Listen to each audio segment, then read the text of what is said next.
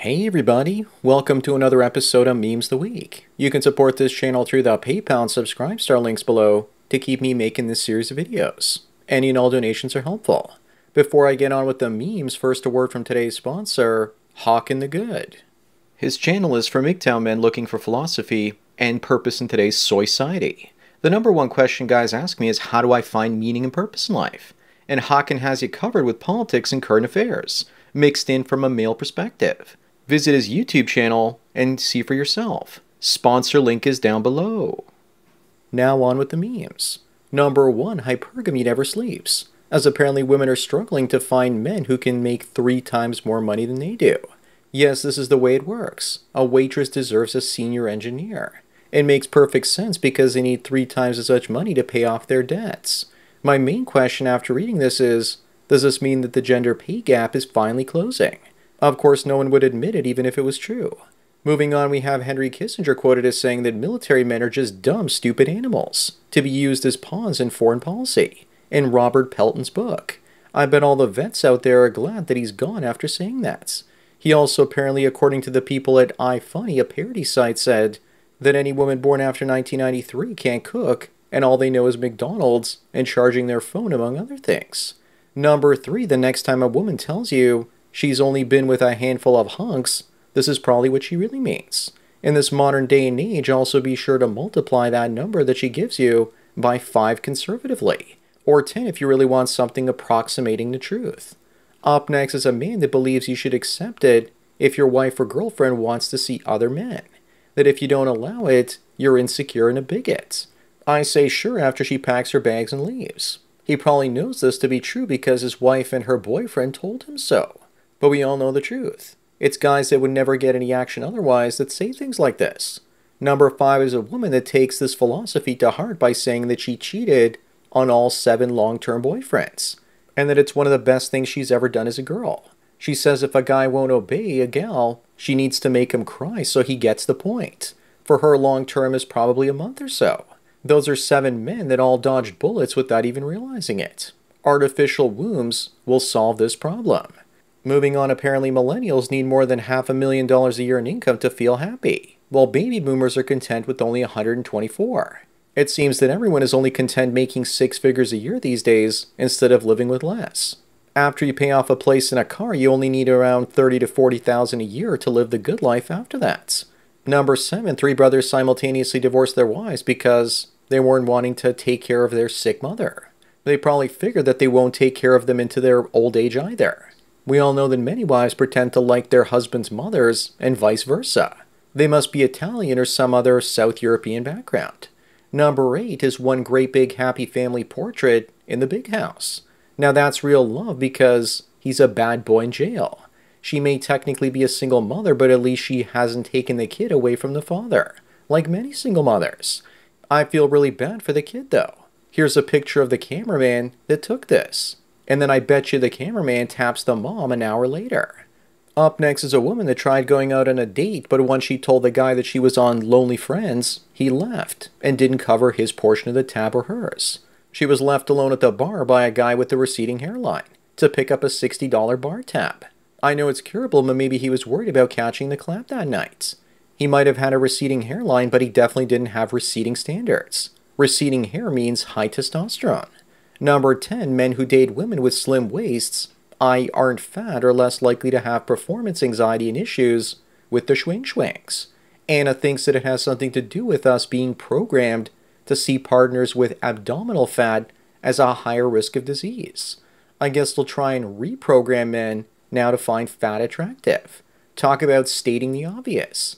Imagine who ended up paying for a study to realize that men like young, attractive, and healthy women. Who knew? Moving on, Brittany Venti tweeted out wondering why men think it's okay to live like this, like monks.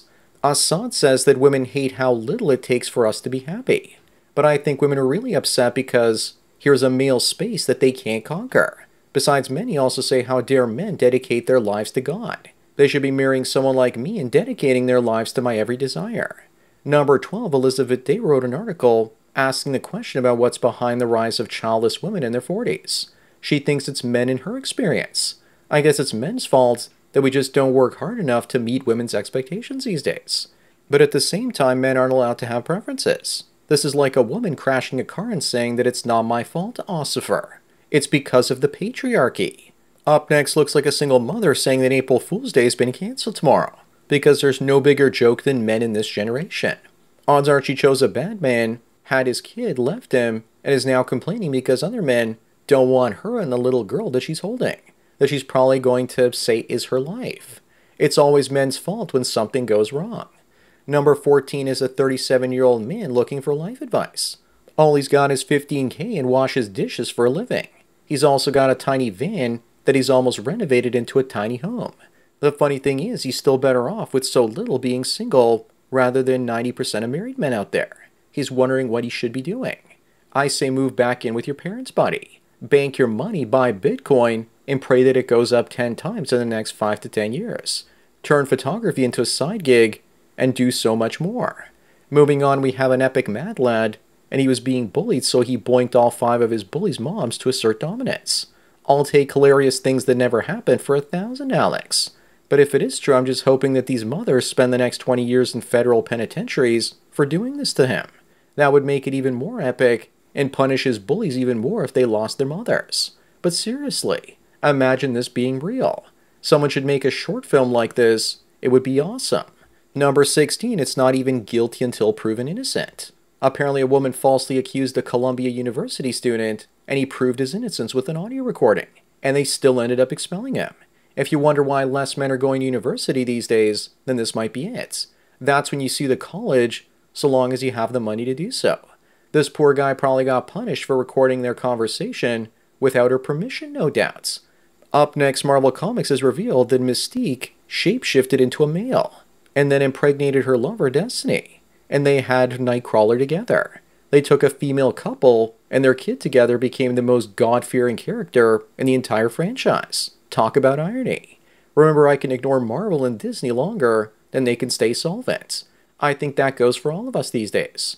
Nightcrawler was fatherless, a joke that writes itself. Number 18 is Polish silver medalist Maria Andrzejczyk and she sold off her Olympic medal to find money for the heart surgery of a Polish boy. A Polish store ended up buying the medal and gave it back to her. But why was she so compassionate? I honestly think she had a good feeling that someone would buy it and return it to her. She would help the boy, and this would elevate her marketplace value so that some Chad out there would marry her. Number 19 is Lillian and her three little angels. She's waiting for you to take them all on road trips, which she's a real big fan of. And she mentioned it twice. She's probably already enjoyed many road trips down the old Hershey Highway. Then again, in this case, maybe she rode down Latin Salsa Street instead. What a catch! A ready made family. All you have to do is work to support a family of five, and that tattooed beauty can be all yours too. Moving on, the next wave is going to be two husbands and one wife. The thirst out there is so real that two guys are willing to share the same woman these days. I bet they don't even know who fertilized her eggs. On the bright side, if you share a wife, at least she can nag you and pull drama on you every day, because she can alternate and only do it on one man per day. But these are not men, these are clowns. They're just missing the big red nose and floppy shoes. But at least they got sons out of the deal. Number 21 having an unwanted child has no grants to sue the mother for lying about taking the pill when she didn't. A court has ruled. I guess this means that a mother doesn't have to take any accountability. How shocking. According to Paul Elam, there are no male victims, just male volunteers. Don't leave your man juices unattended, or you could soon find yourself an unwilling father. Up next, nobody wants to work anymore, according to this baby boomer who bought a 2,000 square foot house on a paperboy salary in 1978.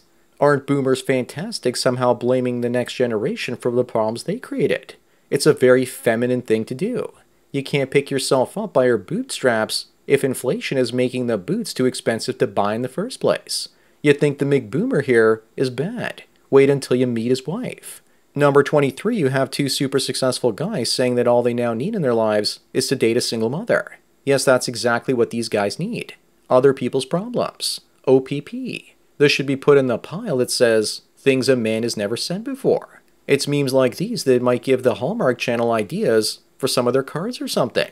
Moving on is a Georgia man that paid $80,000 for a painful limb lengthening surgery to grow six feet tall.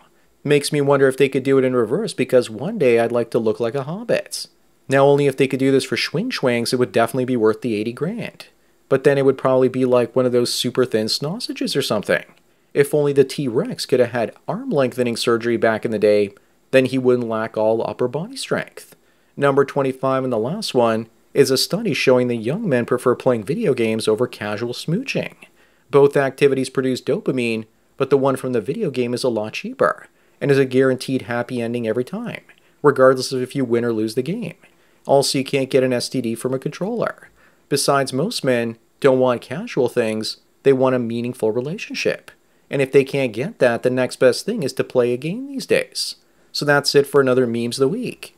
Give this video a like to push it up in the algorithm and so new viewers can find it. I hope you enjoyed this collection as much as the last one as I'm trying to self-censor as my meme videos have been getting demonetized lately. Let me know if it's just as entertaining as I'm now trying to keep things PG rated, so I can continue to have videos like this monetized, or I'll have to go back to making only two of them a week instead of three.